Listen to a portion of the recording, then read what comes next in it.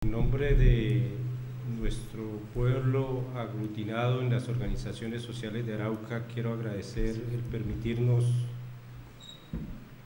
contarles nuestras amargas experiencias que estamos viviendo por culpa de la multinacional Restol, pero también quiero felicitarlos por tan justa causa que están liderando y sepan que de parte de nuestra y de nuestro pueblo, lo que esté al alcance de nosotros, no duden en pedirlo, que estamos a su disposición.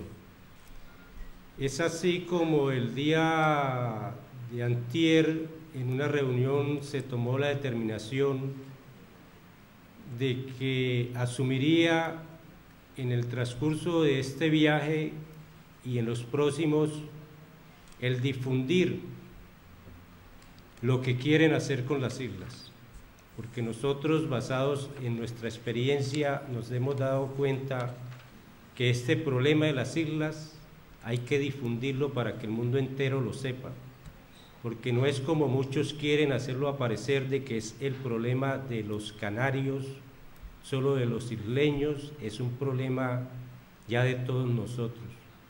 Cuando yo digo de todos nosotros es porque aquí hay especies que son únicas en el mundo y son todo el mundo a quien nos toca defender las especies. Aquí viene mucho turista y hay que enterarlo y que les gustan las islas y sé que en el momento que sepan lo que van a hacer con las islas también serán unos aliados porque en el mundo sí son las islas apetecidas, las islas Canarias se conocen por su fama y por eso vienen a hacer turismo, pero en el mundo en estos momentos no se conoce lo que la Resol pretende hacer con las Islas Canarias. Entonces, dado a la confianza que me han brindado, eh, se tomó la determinación de que hasta donde esté el alcance de nosotros lo vamos a hacer, lo vamos a difundir y sé que esta lucha va a tomar matices diferentes donde muy pronto van a tener aliados de todo el mundo. En realidad, la experiencia que tenemos nosotros en el departamento de Arauca es una experiencia dolorosa, con la compañía Repsol, dado de que todo se inicia en el año 97 cuando ellos firman un contrato y pretenden unas áreas donde posiblemente creen ellos que hay petróleo. Y a partir de ese momento se inicia el desplazamiento de grupos al margen de la ley, de grupos paramilitares en nuestro departamento. Pero se agudiza el conflicto cuando encontramos que ya la multinacional perfora el primer pozo en el bloque Capachos y en el pozo Capacho que lleva su nombre empieza la producción. Al negarse los campesinos a vender sus tierras, a entregar sus tierras, empiezan las medidas coercitivas. Y es así como empiezan las persecuciones, empiezan las visitas de personas extrañas a amenazarlos. Como los campesinos se han negado a vender sus tierras, a desplazarse de sus tierras, porque es una cultura que viene de generación en generación, quizás algo muy semejante a la de vosotros, una cultura que viene de hace muchos años, allí es una cultura campesina, allí la economía es la agricultura y la ganadería. Y ya hoy en día podemos estar hablando de que hemos desarrollado los tres sectores de la industria, como es el sector primario, que es la agricultura, el sector secundario, que es la transformación del producto, y ya podemos estar compitiendo con el sector terciario, que es la comercialización. Hay ejemplos como el cacao, el maíz. El cacao actualmente estamos produciendo un chocolate que competimos con las multinacionales más grandes que hay en Colombia, un chocolate de muy buena calidad y sin, alteraciones, algunas hoy en día muy apetecido en muchos comercios. Esta razón obliga al campesino a no despegarse de su tierra. Y es así como ellos mismos lo dicen, que el vender sus tierras e irse para la ciudad es prácticamente condenarlos a muerte porque ellos no saben sino cultivar la tierra. Pero las medidas no terminan allí, las presiones se agudizan y es cuando empiezan a aparecer los grupos y empiezan a amenazar al campesino de que tienen 8, 10 o 24 horas para que abandonen sus tierras. Si se niega a abandonar, empiezan a aparecer este tipo de panfletos con sus nombres, señalándolos de que son auxiliadores de la guerrilla, vinculándolo a cosas con el solo propósito de meterle miedo a la misma familia y que se vayan de sus tierras. Pero mira allí que el campesino está tan apegado a sus tierras que se niega y dice, prefiero morir en mi tierra que irme a morir a la ciudad. Han llegado a tal punto de que en la zona donde desarrolla la Red Sol sus operaciones, es donde más masacres se vienen dando día a día en el departamento de Arauca. En la zona donde Repsol desarrolla sus operaciones es donde día a día hay más asesinatos selectivos. ¿Pero por qué? Porque los campesinos no quieren entregar las tierras y ellos dicen que ahí en esas tierras las necesitan para hacer explotaciones petroleras. Ellos tienen un alto grado de responsabilidad en la violación de los derechos humanos, tienen un alto grado de responsabilidad en la destrucción del ecosistema y tienen un alto grado de responsabilidad en perseguir a comunidades indígenas. Es así como hoy en la comunidad indígena UBA, una zona de resguardo, una comunidad que hoy en día es de las pocas que podemos considerar puras, que no ha sido contaminada por el blanco, como lo dicen ellos, y está amenazada por parte de Repsol.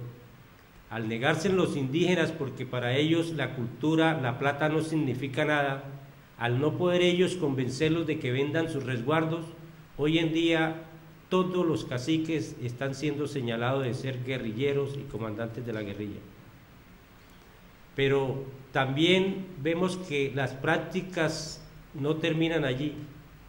También nuestras entidades oficiales han caído en el fenómeno y en la política de la corrupción. Nuestra clase política dejó de ser política y se convirtió politiquera al servicio de la multinacional. Y es así como hoy, mediante presiones, se legisla a favor de esta multinacional. Pero también nuestros jueces, nuestros magistrados, nuestra justicia se corrompió. Si bien es cierto, ustedes se preguntarán, bueno, pero ustedes ¿por qué no acuden a la justicia? Nosotros acudimos a la justicia, pero es que en Colombia no hay justicia. En Colombia lo que hay es un modelo inquisidor.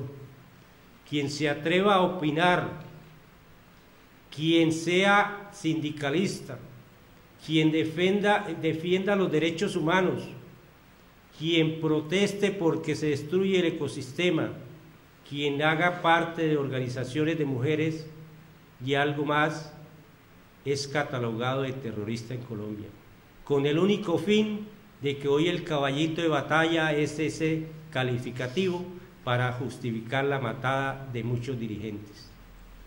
Para nosotros es doloroso venir a contarles cómo día a día nuestros campesinos son perseguidos en el área de Arauca y cómo nuestro ejército, nuestra tropa, perdió la mística militar y está a disposición de las multinacionales.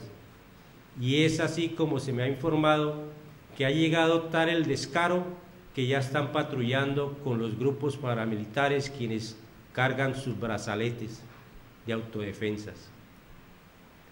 Estas políticas son establecidas por la multinacional Resol con el único objetivo de lograr que se les entreguen los terrenos que ellos creen que hay posibilidades de encontrar petróleo, porque si bien es cierto ellos perforaron un pozo, aún tienen que perforar más para establecer si en realidad cuáles son las verdaderas reservas y hacer otra serie de estudios.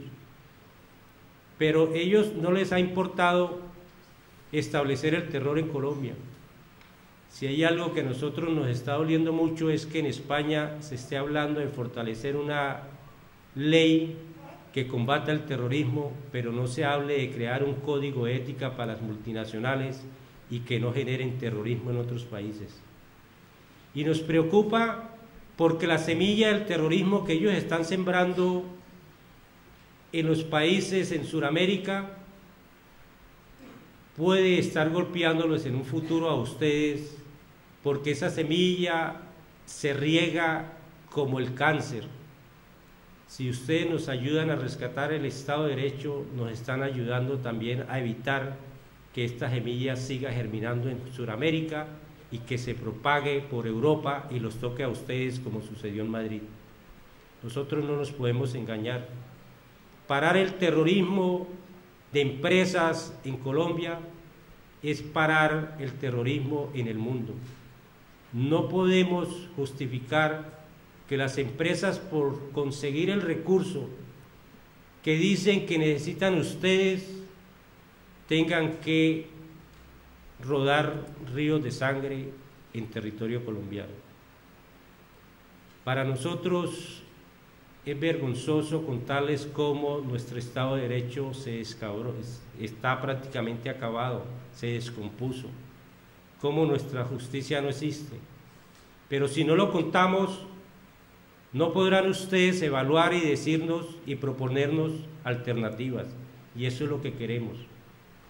Así como nosotros vamos a apoyar porque sabemos que esa lucha la van a ganar y la vamos a difundir, también queremos que nos colaboren ante el gobierno nacional solicitando que paren esas masacres y esa persecución contra la dirigencia, contra ese tejido social que existe. El problema de Colombia es muy social. El problema de Colombia no es la guerra. La guerra se está siendo utilizada como una cortina de humo para entregar las grandes riquezas que existen en Colombia nuestro presidente, a cambio de una reelección y de que le fortalezcan su aparato militar, está entregando las riquezas a perpetuidad a las multinacionales. En el departamento de Arauca es algo especial. El departamento de Arauca limita con el territorio venezolano y nos divide el río Arauca.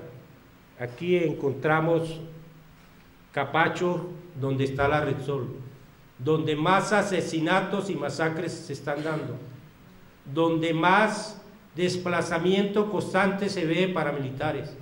Y van a decir los de la Resol, eso es falso, nosotros no tenemos nada que ver, eso es un conflicto interno de los colombianos que se están matando. Pero lo cierto es que para poder sostener esos grupos paramilitares se necesita plata. Y quienes están interesados que los campesinos salgan de sus tierras en la Resol. Y hay testimonios que los comprometen. Pero nosotros, dado la solicitud de la misma comunidad y dado una experiencia que ya vivimos con un bombardeo que hubo a una población que se llama Santo Domingo, donde inicialmente se decía que no, la Fuerza Aérea nuestra no lo había hecho y que posteriormente lo aceptó y que hay una investigación del mismo FBI donde dice que sí fue lanzada una bomba y que sí fue vendida por los norteamericanos, donde fueron asesinados siete niños y también murieron personas mayores, donde los testigos que presentamos ya no nos quedan sino dos porque todos han sido masacrados. Dado a ese miedo, la comunidad nos pidió que no trajéramos esos videos donde ellos han denunciado ante nuestras autoridades y han hecho caso omiso de todas estas actuaciones. El problema de Colombia en este departamento se torna difícil porque hay unos intereses hacia Venezuela. Nos están metiendo en una guerra que no es de nosotros.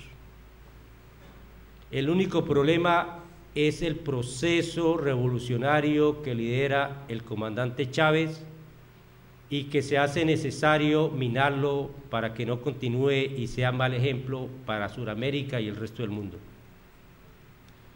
Aquí, en este territorio, se están montando bases militares gringas con radares. Aquí, en el campo Caño Limón, hay marines norteamericanos uniformados y armados, tanques de guerra. El mayor pie de fuerza en el departamento, en todos los departamentos, es en el departamento de Arauca. Hay aviones de reconocimiento y vemos el por qué tanto escándalo cuando Zapatero le vendió fusiles a Chávez. Pero ¿por qué no se preguntan por qué Uribe está militarizando la frontera de esa forma? ¿Por qué el interés de los norteamericanos en esta zona? Todas estas tierras hacia Colombia se están comprando y no sabemos de dónde está saliendo el dinero, pero también se está comprando tierras en territorio venezolano. Todo con la complicidad de las compañías multinacionales que están y con el conocimiento de ellas. Repsol no puede decir que no tiene conocimiento de todas estas actuaciones. Mire que nos están metiendo a los civiles en una guerra que ni la queremos ni es nuestra. Es así como la multinacional, nosotros también hemos sido tocados por sus actuaciones. A nosotros también se nos engañó y el único pecado que nosotros hemos tenido es haberle dado la oportunidad a Resol de entrar al departamento. Y esta es la forma como nos están pagando. Por eso nosotros venimos diciendo que Resol quizás no le ha dicho la verdad a ustedes de las islas, de los intereses que les asiste sobre las islas. Resol dijo que aspiraba a ser la segunda compañía más grande del mundo, que lo que está haciendo en Sudamérica se debe porque va a asegurar yacimientos petroleros con el único fin de tener unas grandes reservas para cuando se agudice más la, la crisis energética poder tener la materia prima. Pero lo que no ha dicho es que allí, en las islas, está la posibilidad de montar la industria petroquímica más grande del mundo. Por su punto estratégico, ya sea para la guerra y por su punto estratégico para suministro. En la industria del petróleo, lo rentable no es la exploración y la explotación. En la industria del petróleo, lo rentable es la petroquímica.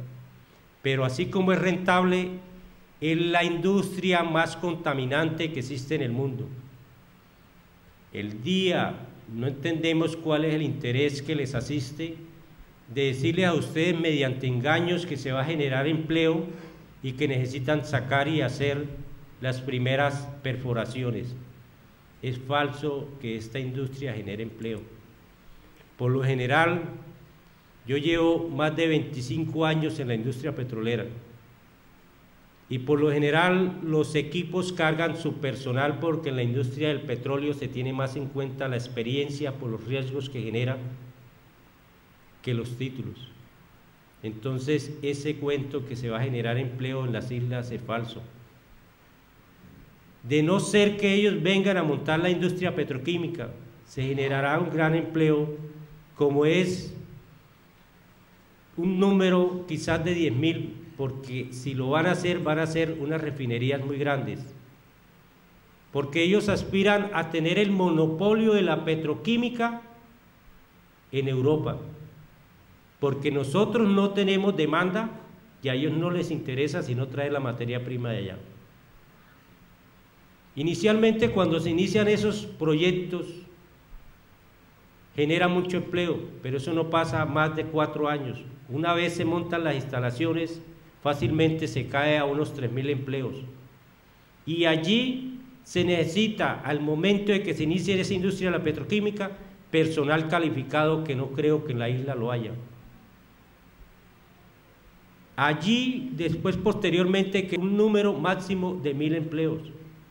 Pero a cambio de qué? A una contaminación, donde van a salir todos golpeados. Porque es que no se puede decir que esto es un problema únicamente de visión de los ambientalistas o de cierto número de isleños.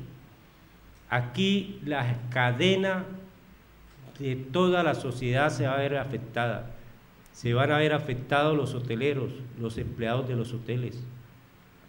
Cuando los turistas empiecen a ver barcos fondeados, cuando empiecen a ver instalaciones industriales, nadie va a querer venir a estas islas.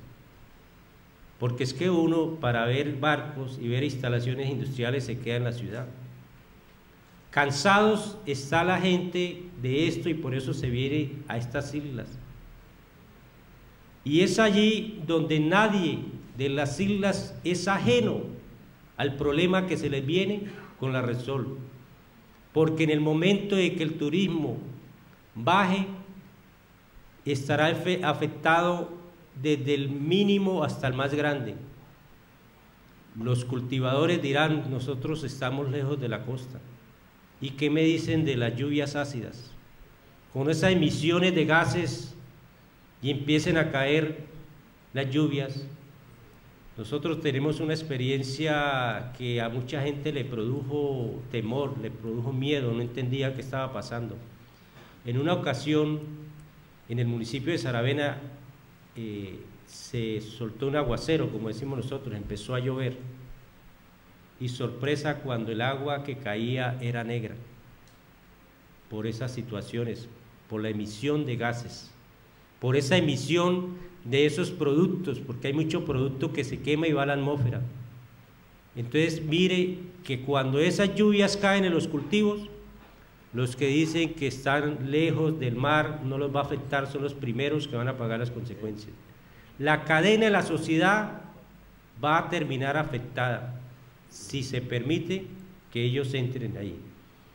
Nosotros en esto hemos tenido muchas experiencias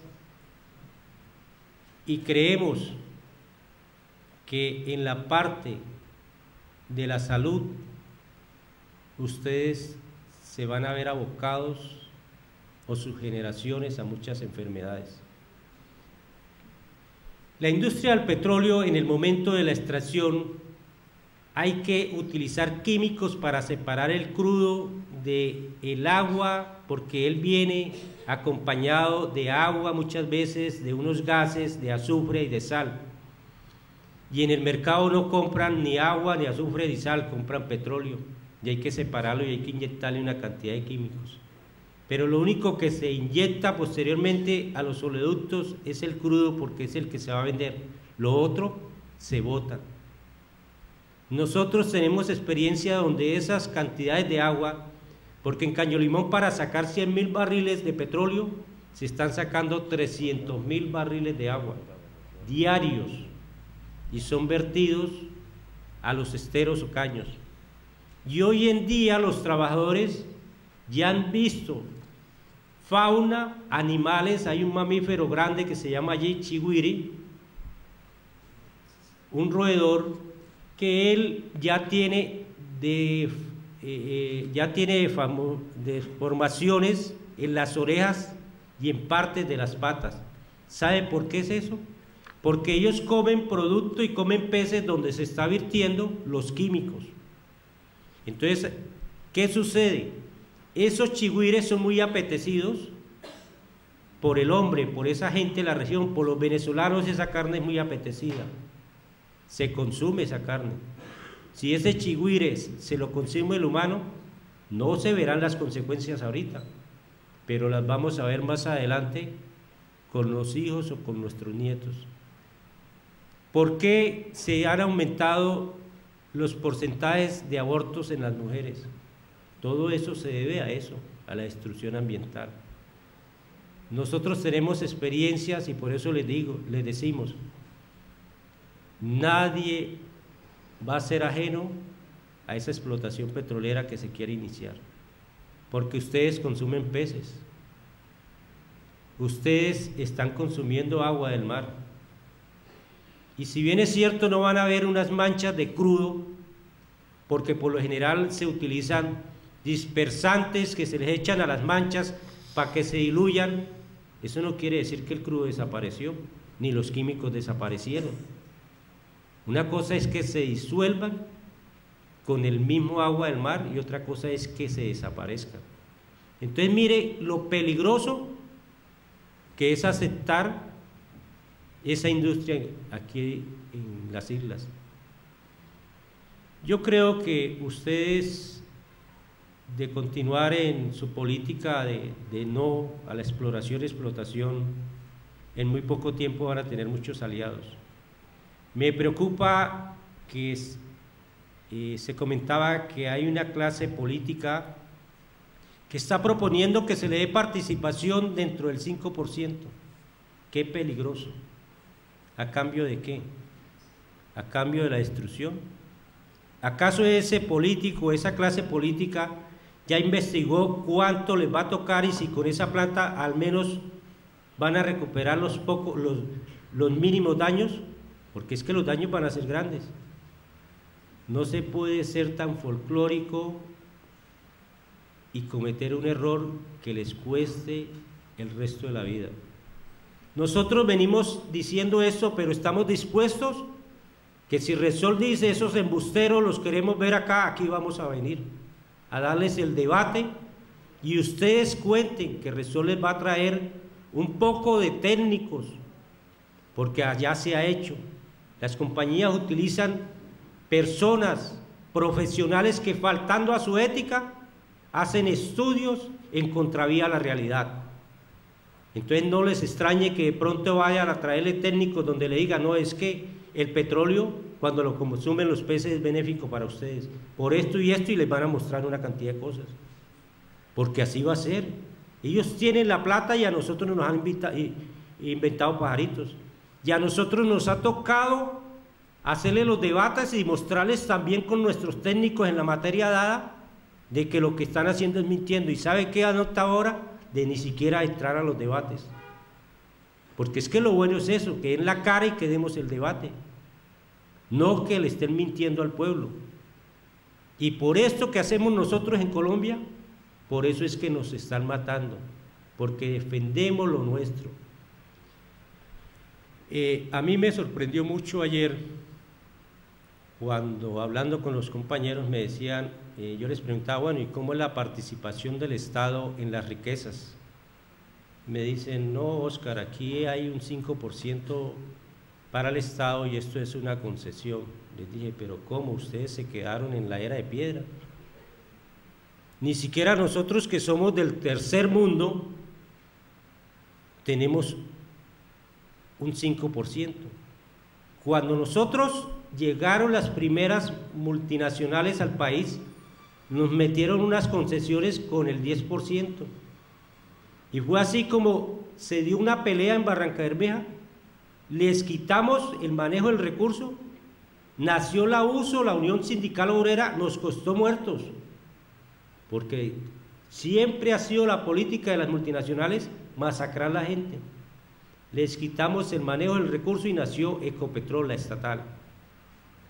Y, eso del 5%, yo les preguntaba, ¿sabe cuánto es la participación de nosotros? Es de 40 a 60%. Y somos del tercer mundo.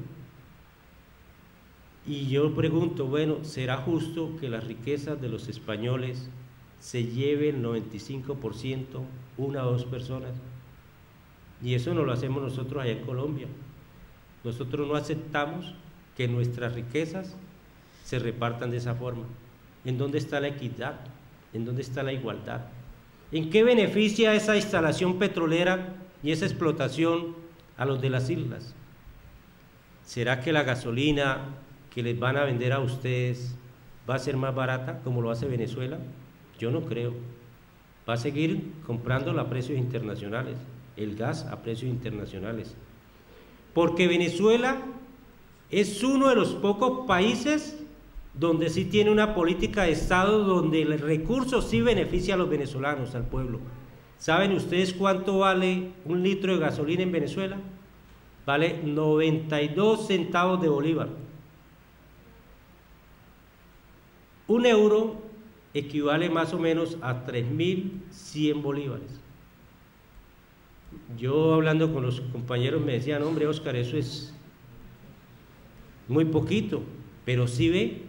Entonces ahí sí da gusto que se diga, no es que las riquezas son de los venezolanos, pero vuelvo y le digo, ¿qué sacan ustedes con que se enriquezca la Resol y ustedes se, empobrezcan aún más? Que adquieran enfermedades, ¿será que la Resol va a decir, no, yo asumo los costos de todas esas enfermedades que van a asumir? Yo no creo. No creo porque si no les ha importado asesinarnos a nosotros allá, mucho menos les va a importar que la madre naturaleza acabe con ustedes, después de que ellos la contaminen. Entonces mire que la situación no es como la pinta y que se van a venir muchas estrategias de parte de ellos, pero yo los invito a que continúen con esa esperanza con esa fe de que ustedes tienen la razón y que el mundo entero, una vez lo enteremos, va a ser el primero en apoyarlos.